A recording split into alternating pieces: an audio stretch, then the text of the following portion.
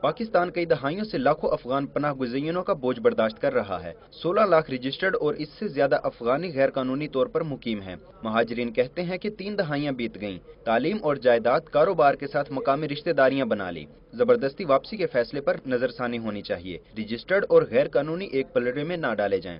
ہمارا بچوں کے اسکول میں ہمارا بزنس کا مسئلہ ہے۔ جو ہمیں کارڈ ملا ہوا ہے اس کارڈ کو مزید تین سال کے لیے ایکسٹینڈ کریں۔ حکومت کو کہہ دے کہ تھوڑا پیسہ بڑھاوے تقریباً ڈیڑھ لاکھ اسی طرح ہوتا ہے تو شاید امکانات ہو جائے۔ مہاجر کیمپس اور غیر قانونی بستیاں بھی دہشت گردوں کی پناہ گزینوں کے طور پر استعمال ہوئیں۔ اراکین پارلیمنٹ کہتے ہیں برے حالات میں افغانستان کا ساتھ دیا۔ آج مہاجر کیمپوں اور بستیوں میں موجود دہشت گرد ہمیں ہی نقصان پہنچا رہے ہیں۔ دہشت گردی کے مستقل حل کے لیے ان کی واپسی ضروری ہے۔ یہی پناہ گزین جو ہیں جن کے اوپر انگلیاں اٹھتی ہیں جب بھی پاکستان میں کوئی دہشت گردی کا واقعہ پیش آتا ہے۔ اب حالات افغانستان کے بھی بہتر ہیں۔